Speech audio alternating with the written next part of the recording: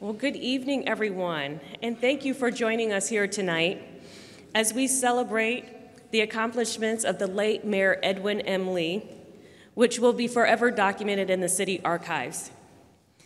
I was honored to be in Chinatown earlier today to present Mayor Lee and the city he loves a summary of accomplishments 2011 through 2017 to our city librarian, Michael Lambert. And even though one book cannot fully convey what Ed Lee did for our city and what he gave to our city, it is of critical importance to record his accomplishments and document his legacy and his place in San Francisco's history.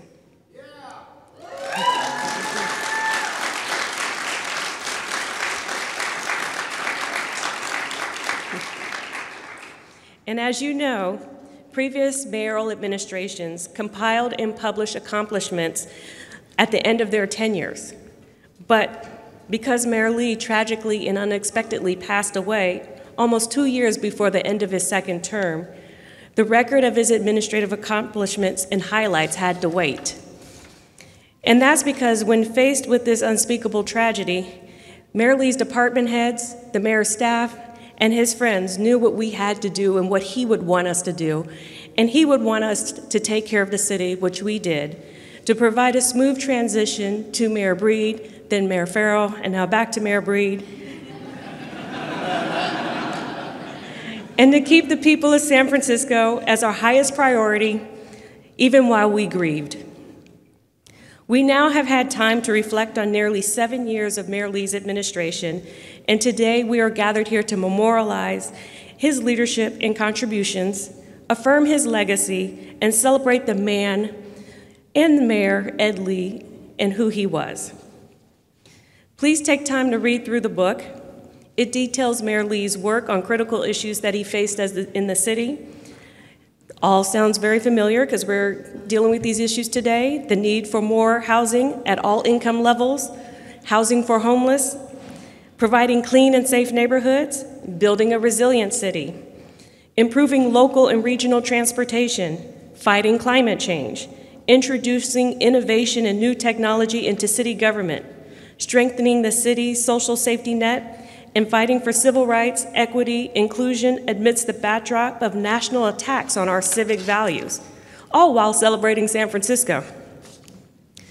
None of this happened in a vacuum we have to remember that Mayor Lee's administration began amidst of a backdrop of national economic uncertainty, record unemployment, and overwhelming city budget deficits. This book puts his accomplishments and administration in historical context and details his work to stabilize a city struggling through the Great Recession, putting people back to work and protecting city services. I would like to give a special thank you to our hardworking committee, former mayoral staff, department heads, and colleagues who helped get this over the finish line. First, I'd like to really thank Selena Sun, our project manager extraordinaire.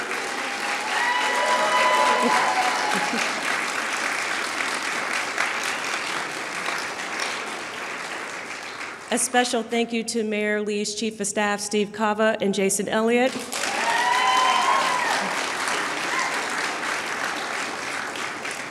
As we were grieving, Jason had the presence of mind and the weeks and day, the days and weeks after Mayor Lee passed away to start collecting all of this information that went in the book today. And he had appointed Kate Howard to collect it. And as a result, I want to thank Kate Howard, Deputy Chief of Staff to Mayor Lee. His great strategic advisors and communications team, Christine Falvey, Tony Winnicker, and Deirdre Hussey.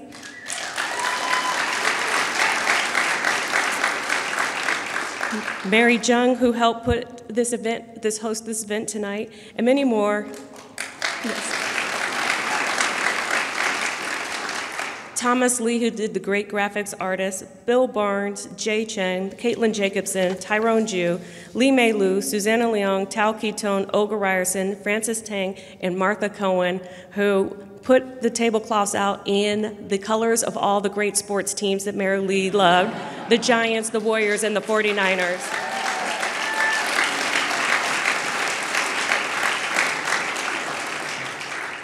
Mayor Lee was a champion and leader for all, who had a track rec- he had a track record for bringing people together, as evidenced by the array of people you see here tonight. I want to thank you all again for joining us. And up next, I'd like to introduce our mayor, Mayor London M. Breed.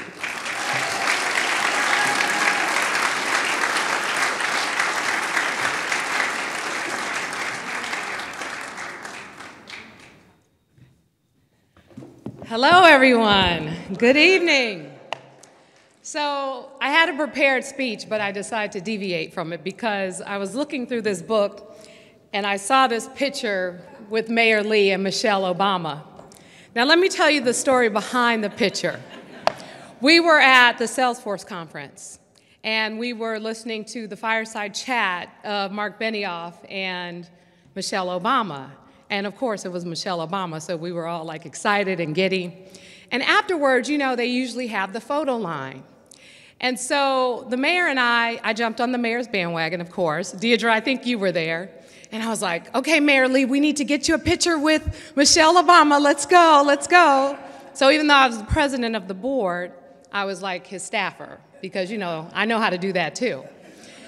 And so I'm bringing the mayor up, and we're standing in line. It's like, okay, stand here. And I'm like, wait a minute. This is the mayor of San Francisco.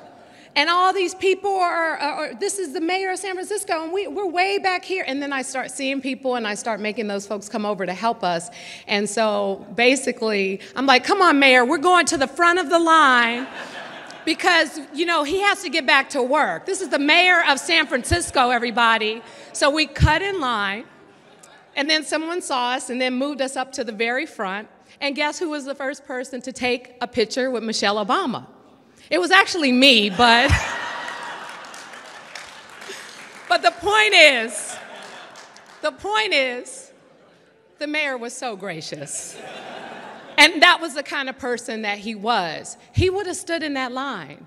He would have stood in that line and he would have waited he would have taken a picture with everyone who would have asked him. He would have had conversations with anyone because that was the kind of person he was.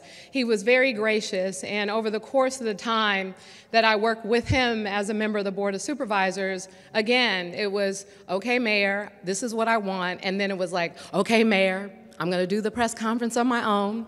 I'm going to take all the credit for it. You don't mind, do you? Um, and he would always say, go ahead because the work was more important to him. The results of the work that we were doing to serve the citizens of this city, it was more important than who got the credit. And that was so what was so amazing about him as someone who wasn't necessarily a politician.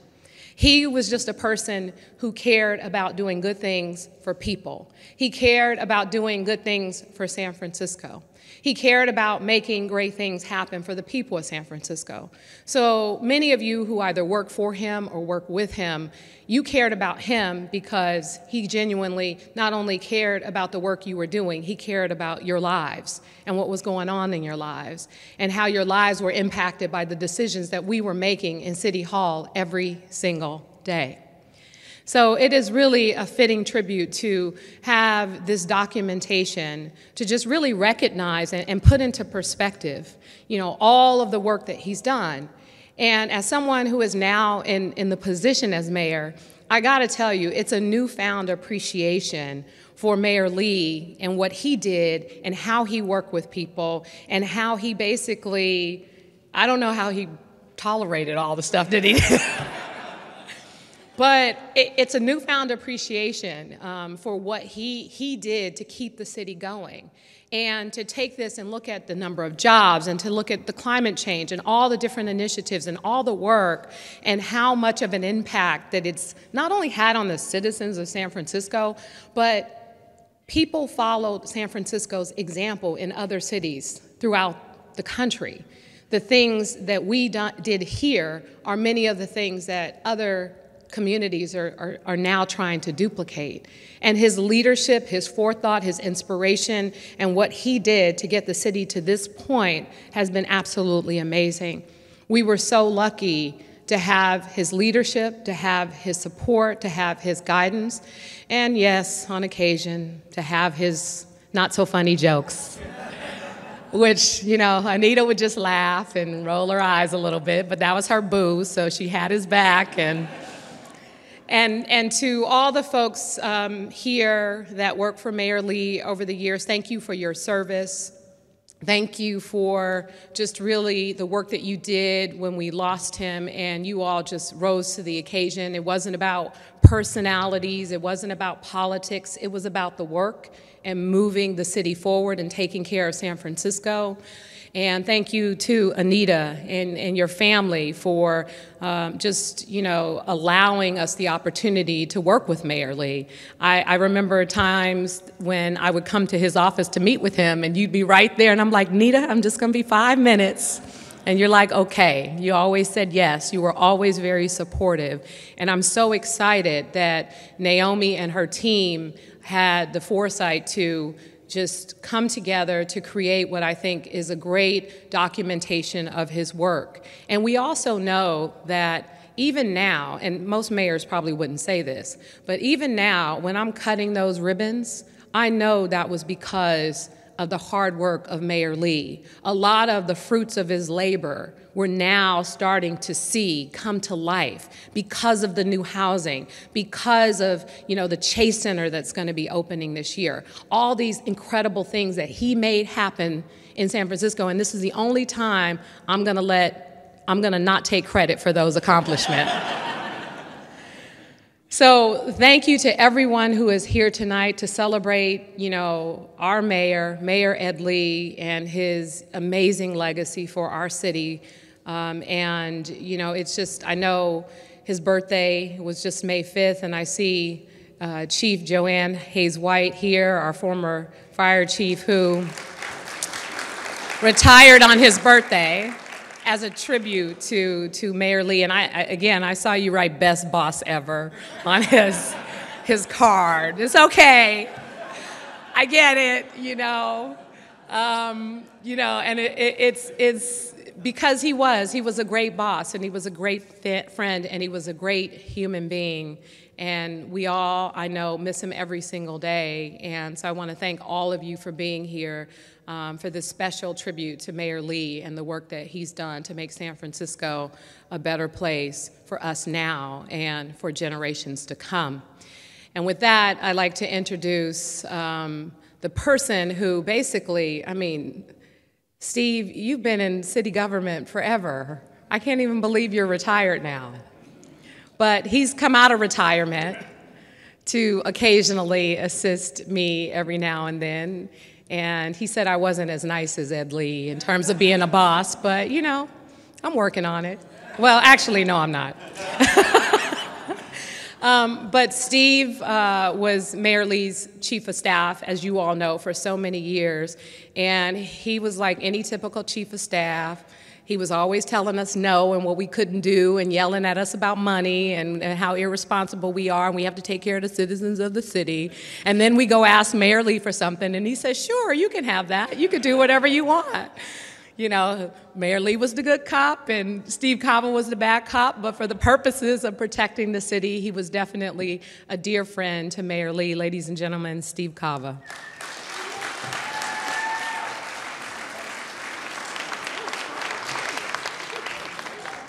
Thank you, Mayor Breed, and she's absolutely correct. Uh, Mayor Lee was a lot nicer. he actually paid me when I worked for him. When I work for her, she doesn't pay. Uh, it's so great to, to be here tonight, uh, Anita, to see you um, and to see a lot of familiar faces and friendly faces.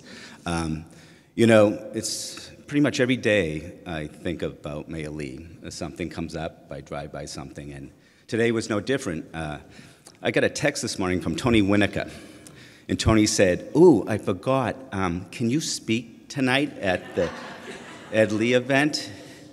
And then he followed it with, and it will be short. And I said, It'll be short.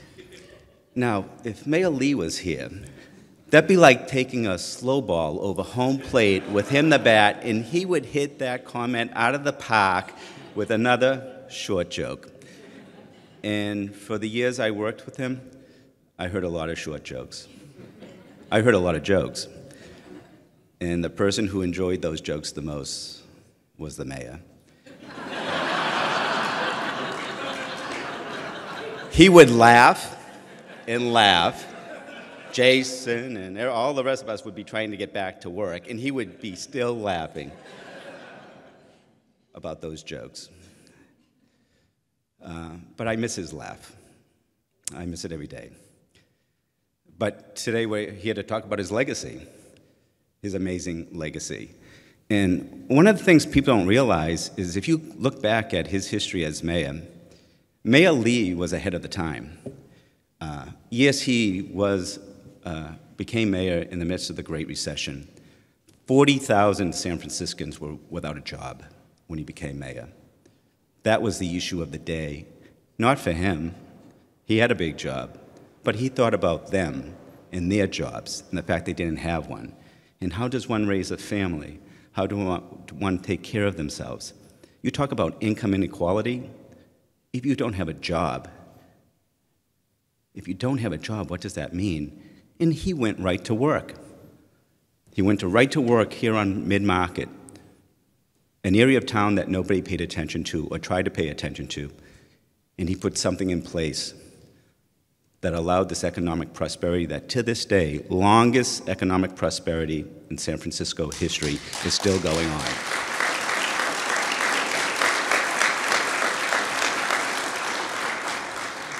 But guess what? Uh, I think Mayor Breed has a huge task at hand, and she's been doing a tremendous job on an issue of housing.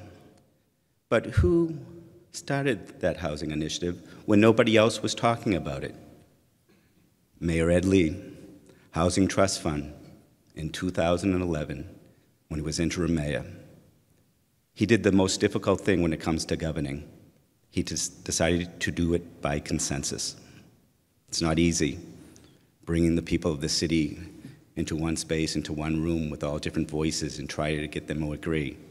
We all know that. You all know that. You guys try every day to do it. He was a master at doing it. He was a master because of who he was, his personality, the fact that nobody was offended by him. Nobody was offended by him. He didn't offend anybody. It allowed you to open your mind to come in and know that something good could happen from this. He did the Housing Trust Fund. Then he did something else, and Mayor Breed was his champion with this. He decided to make sure that all those folks living in public housing weren't separate from San Francisco. They would be part of San Francisco under his administration and forever. And Mayor Breed is keeping up the good work. He also, by the way, was the first person in San Francisco that said we should raise the minimum wage. In December of 2014, a lot of people take credit for that now, but he's the one who announced it. Remember that, Jason? In 2014, the first one out of the box to say we need to now start addressing this issue of income inequality. And he did that. And he did so much more. You know, the fact that this city has never had a world class entertainment center like the Chase Center that's about to happen. I mean, it never, this city, San Francisco, didn't have one. It's going to have one because of one person, Ed Lee. We should all thank him for that.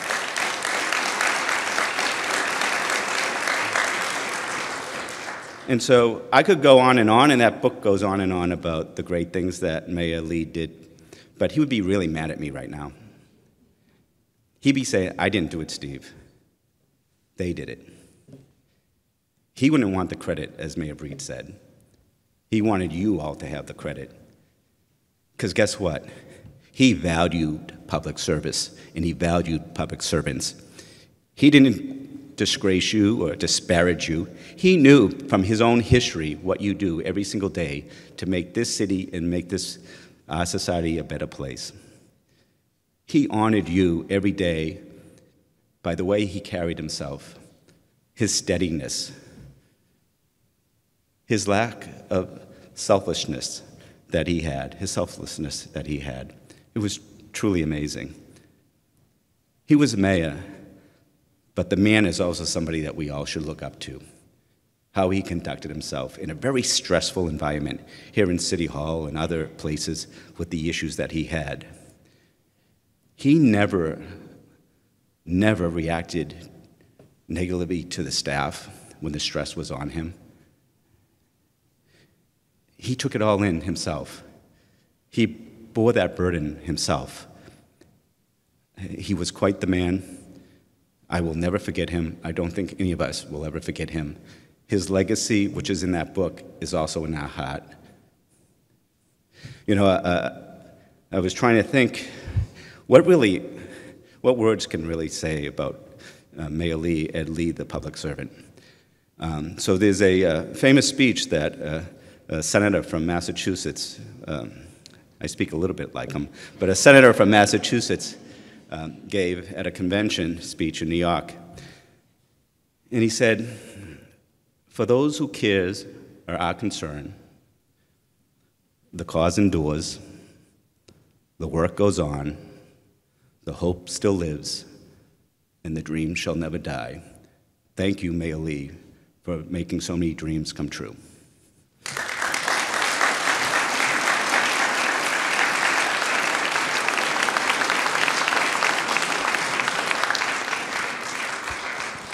That was beautiful, Steve.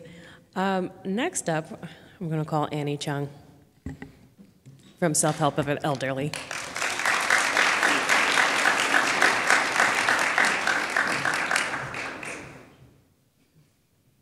Thanks, Naomi. When Mayor made that statement about Ed never takes credit for anything, and he's so, just so humble and modest, remind me of a similar story that Mayor always comes to our Thanksgiving lunch that we give to about 3,000 seniors every year as self-help. And so that, that year, we were waiting for him, you know, for the car to drive in, sometimes with Anita, and sometimes uh, just the mayor coming from Glide or another Salvation Army or whatever. And then that day, I didn't see any police car, no escort, you know, no staff.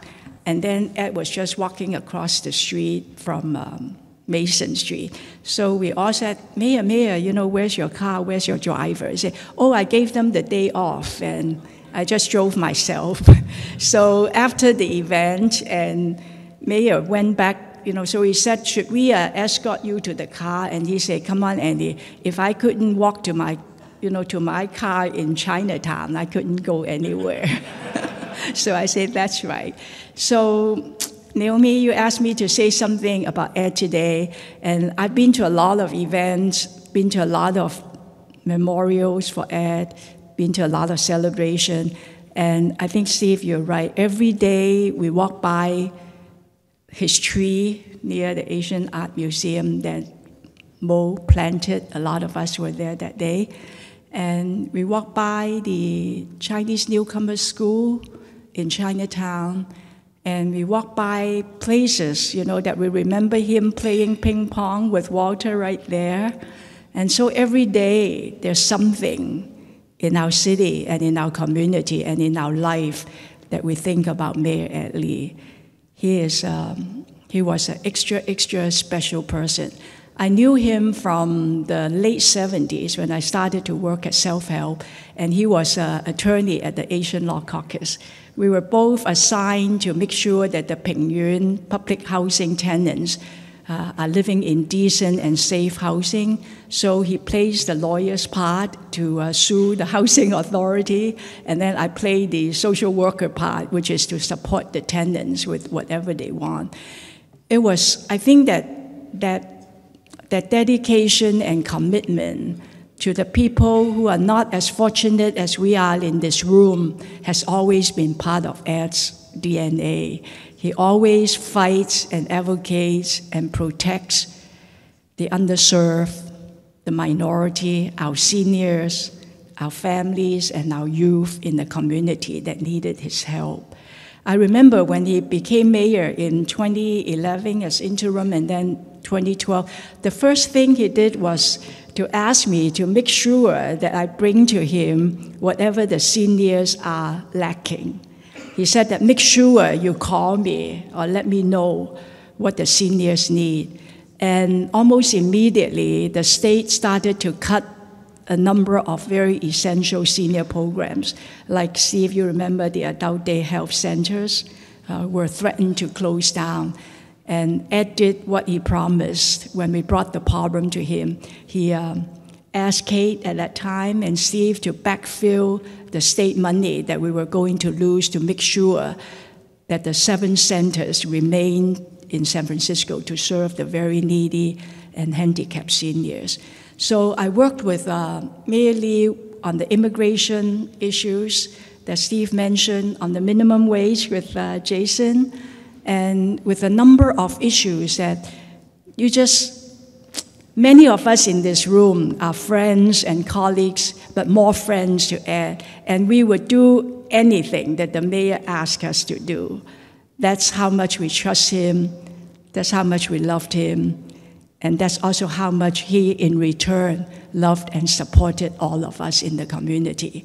So, Naomi, I don't know if I'm supposed to share this, but I thought that as a tribute to Mayor Lee, for the last 13 months, our community has been working quietly with Naomi, Karen, and then Steve on renaming the international terminal as SFO after Mayor Lee. We, uh, we uh, thought we thought that mayor being the mayor of San Francisco and having done so much for the airport and making San Francisco an international, well known, famous city, this would be an easy task, right, Steve? We had a lunch with you and Naomi, and we said, let's collect the signatures, submitted it to the airport commission, and we should be able to get the international terminal renamed. So many of our co-chairs are here tonight, Walter, Hagan, Norman, I think if Goretti's here, Goretti, and Henry and Malcolm. So we collected 22,000 signatures within two weeks. It, it's, a, um, it's an easy ask. Nobody actually said no. So along with the letters of support and then a short strategy that Steve and Naomi and the community had devised. We submitted these at the Airport Commission, and then we were told that there's a process in renaming and dedicating anything at the SFO, even for Mayor Ed Lee.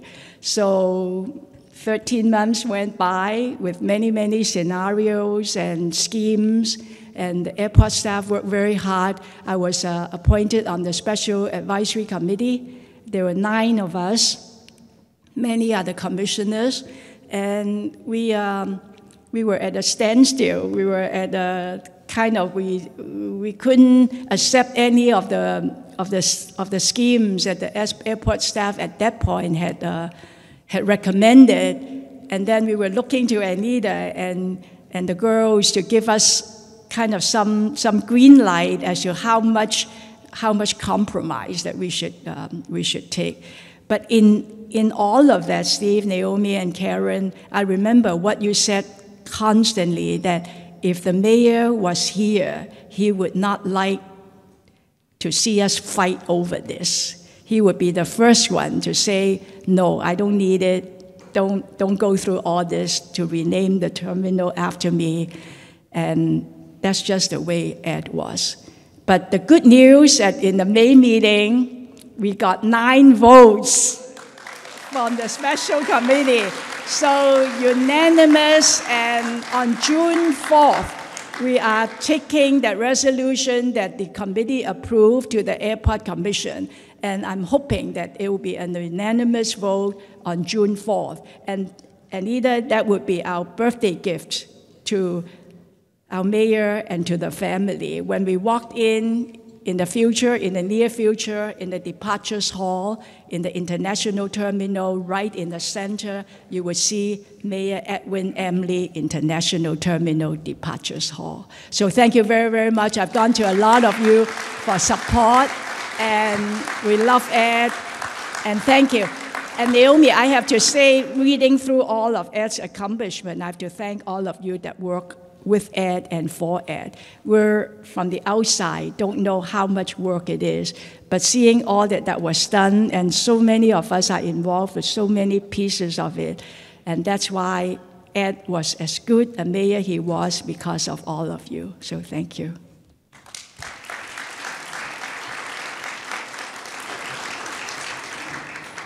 Thank you, Annie. And so, um, I don't think Mayor Brown made it here this evening, or don't see him, but you know, he did love Mayor Lee. He was very instrumental working with Steve Kawa and our former governor, our, our governor and former Mayor Gavin Newsom. Jason Elliott just had a heart attack right there. but in in having Ed become the interim mayor when then Mayor Newsom went on to run for lieutenant governor. And so um, he has had wonderful things and was a wonderful advisor and, and, and good friend to all of us, Mayor Brown, and to Mayor Lee. Um, I just want to, before I conclude, just want to give you a few more next steps on what the hardworking community, uh, committee is working on. Uh, we plan to make the book digital so that we can post it to the San Francisco Public Library's webpage and also to the Edwin M. Lee Foundation website. Uh, we are right now working on translating the book into uh, Chinese, Spanish, and Tagalog. Uh, we, uh, we, we were, we thought this is uh, what, eh, almost 18 months since he passed away, and this would be the natural time that if Mayor Lee had survived, he would have been thinking about his accomplishments in creating the book.